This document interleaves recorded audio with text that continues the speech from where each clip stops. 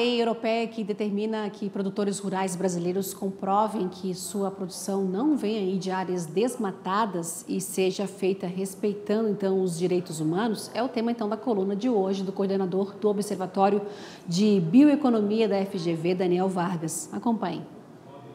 Quando pensamos na organização econômica do mercado, logo pensamos em autonomia com responsabilidade.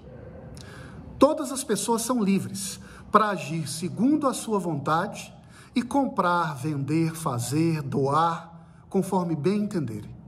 Mas se quebrou, que conserte. Se errou, que pague.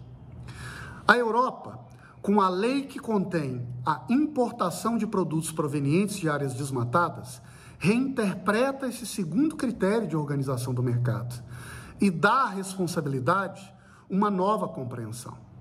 A partir de agora, todos os produtores brasileiros deverão pagar um preço para comprovar que o seu produto foi produzido de forma sustentável, em respeito às leis e sem violação aos direitos humanos. Mesmo que jamais tenha violado qualquer legislação ou descumprido alguma norma ambiental, ainda assim todos deverão pagar. Este critério de responsabilidade adotado pela norma europeia é, digamos assim, bastante particular. E eu cito dois exemplos, não precisos, mas análogos, que nos permitem refletir se faz sentido culpar ou exigir de alguém um custo por algo que não fez.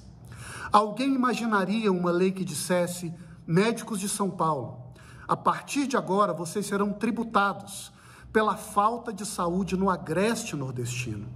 Professores do Ceará, embora prestem uma educação de qualidade, vocês serão responsabilizados pelo analfabetismo crônico e visceral que ainda acomete boa parte das crianças na Amazônia brasileira.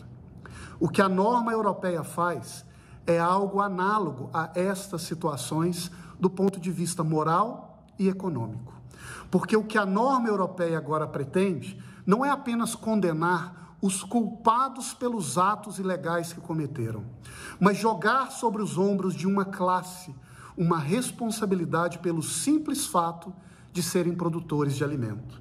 A responsabilidade que a partir de agora vige as relações comerciais entre Brasil e Europa não é a responsabilidade do indivíduo que produz mal ou que produz bem é a responsabilidade de classe, de um conjunto de pessoas que passa a ter um ônus pelo simples fato de pertencer a um grupo moderno em regra sustentável, que incorpora a tecnologia e que ganha produtividade, que com isso economiza a natureza, mas que verdade seja dita, ameaça de frente quem não consegue produzir com a qualidade, o vigor e a sustentabilidade do alimento brasileiro.